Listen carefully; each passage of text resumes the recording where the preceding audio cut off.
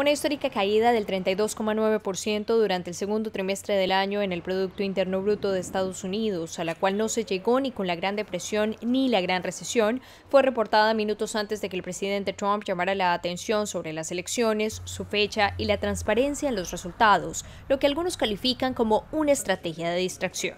Horas después, Trump aseguró no tener interés en que se pospongan.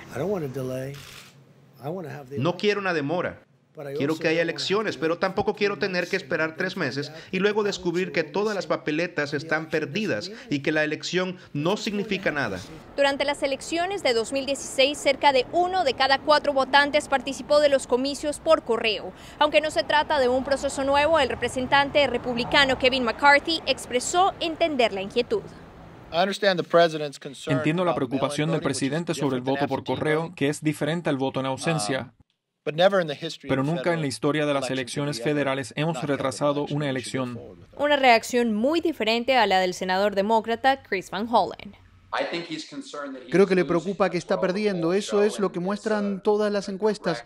Y es un reflejo directo de esta respuesta totalmente fallida al coronavirus. Según el artículo segundo de la Constitución de Estados Unidos, solo el Congreso tiene la potestad para cambiar la fecha de los comicios. Laura Sepúlveda, Voz de América.